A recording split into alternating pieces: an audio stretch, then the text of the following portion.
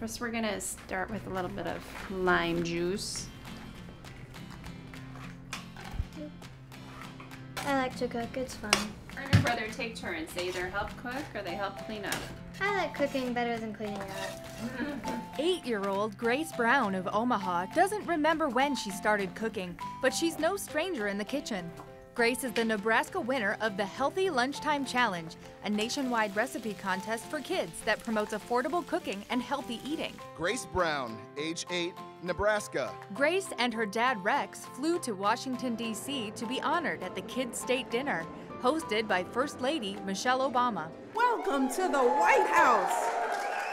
When I went to the White House, I ate lunch with the First Lady. It was super fun. I met Miss Obama and Mr. Obama. My mom made fish tacos one day and I liked them and we tried it like a bunch of times and then we finally got it right and entered it.